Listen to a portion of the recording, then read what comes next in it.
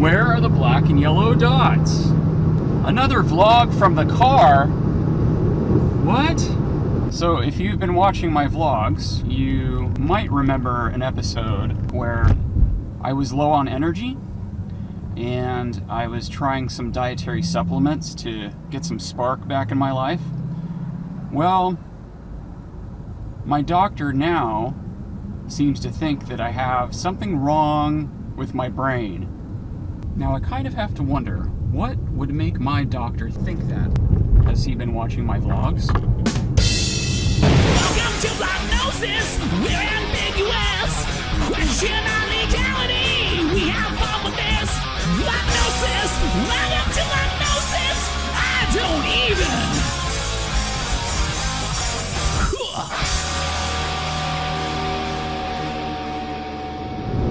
I'm going to the hospital to get an MRI scan done on my brain. I don't feel like there's anything wrong, but one of my friends recently was diagnosed with an inoperable brain tumor.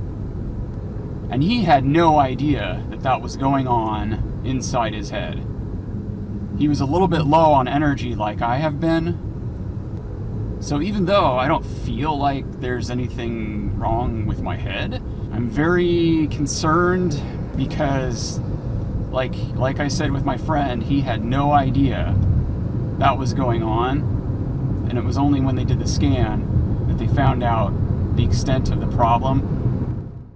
Once you've arrived in the waiting room, you might start noticing signs that things are a little bit different. Apparently, with the electronics, it will erase or destroy them entirely, and anything metal could become magnetized and fly around. Fortunately, they give you a locker to put all of your stuff in so that it'll be safe.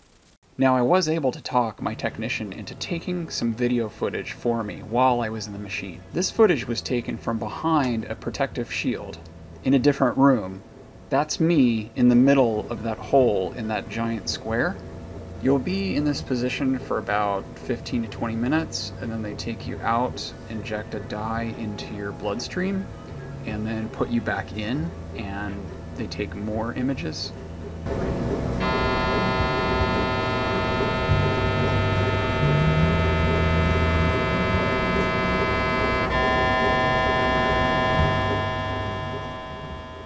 They give you earplugs and protective earmuffs because the noise this thing makes is intense.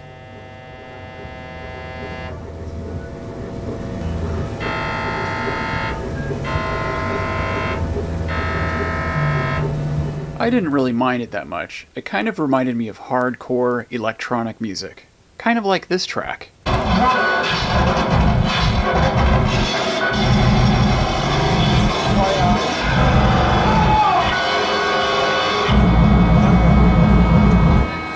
Yes, this is a real song. Well, that was an experience.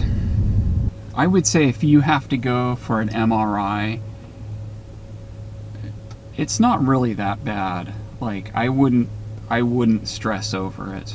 The process itself wasn't too bad. Once you're in there, you know, you just have to try to lay still so they can get sharp pictures of what's going on. But um I think the worst part about it is when they have to inject the dye or whatever it is into your arm. I'm not a big fan of needles, so. Alright, well, that about wraps it up for today's vlog. I thank you for watching, I thank you for subscribing, and if you have any experience with MRIs, I'd be interested in hearing your feedback. Go ahead and leave a comment.